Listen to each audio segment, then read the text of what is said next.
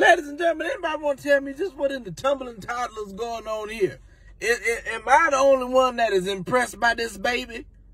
This child was a was was a was a fetus not too long ago. Now look at her. I don't know who child this is, but I'm, I'm gonna tell you something. There is a gold medal in her future. You ain't got to believe me. Look at her.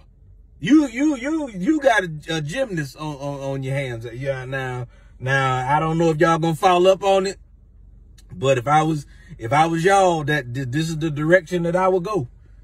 She she she she she belong in the Olympics. Don't don't don't miss your blessing. Don't don't don't miss your blessing now. I'm trying to help y'all out. Cause she doing this now. I need to see footage of her ultrasound. Cause I know she was all over the place, hanging off of ribs and everything. Just let, I, I need to see this. DM me the ultrasound. She was probably like Spider-Man in there. I don't, I don't know, but y'all, y'all better, as soon as she old enough, y'all better find a gymnastics class. Cause she already ready.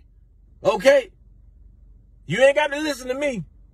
You don't have to listen to me, but I'm, I'm just saying, I'm just saying success is right there in the crib. Take heed.